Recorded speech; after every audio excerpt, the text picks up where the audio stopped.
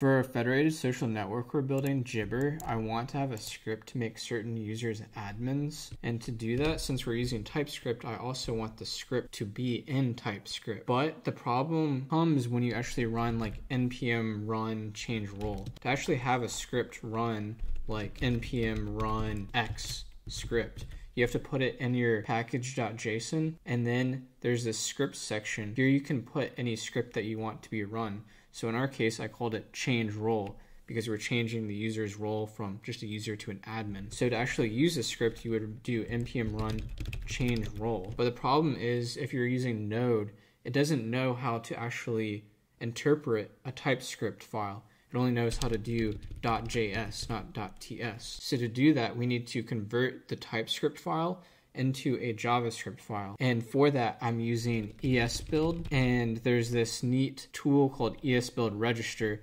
that automatically or, you know, on the fly changes TypeScript files to JavaScript files. So you don't have to deal with, you know, setting up an esbuild file and so on. So this just does it on the fly, which is much easier. And to use this, it's you can go to this GitHub repo egoist esbuild register and then do an npm install. Just pull that into your project like that. Now the other thing is you want to ensure that you actually have node installed on your computer.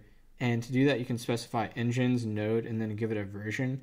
That way if you don't have node installed it'll give you a warning slash error telling you to install at least this version. Now that we've ensured that the user's installed node and has this and the project has esbuild register installed, we can actually run this file, this .ts file. So if we look at this file, we can just use imports like normal, like a module, we can do module imports.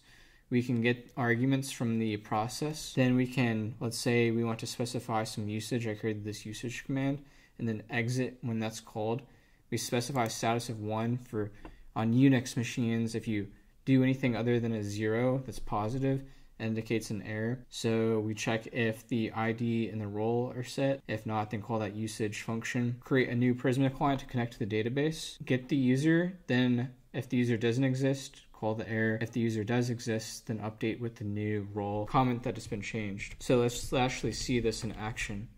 If we do npm run, then change role, we want to get the user ID, also what we want to make the user, so an admin. Now you can see that it's been set as an admin, and you can see the admin role has been put into the database. So thank you for watching, and stay tuned for more videos.